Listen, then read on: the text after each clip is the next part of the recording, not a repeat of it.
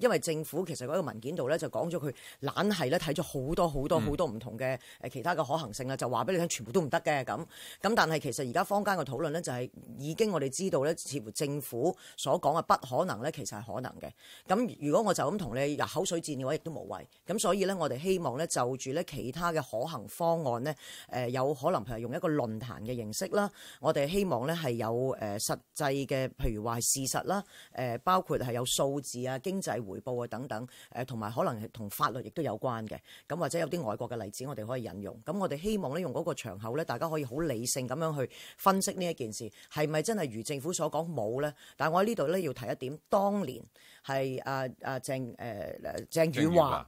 因為當時我都係立法會議員嚟嘅，佢嗰陣時要嚟攞撥款，佢都俾我哋問一地兩檢都問到發晒脾氣咁滯㗎啦。佢就話我已經打第十幾唔知十幾多次㗎啦。佢要再講嘅就係話，佢哋都預計可能未必一通車高鐵咧就可以實施一地兩檢，所以咧佢哋咧係有折衷嘅辦法，亦都咧係知道喺福田等嘅誒誒站嗰度咧係預備咗雙檢嘅地方嘅。咁呢個係政府一路以嚟，無論係對建制、對民主派、對市民都係咁講。點解發展到今日就話俾你聽冇一地兩檢？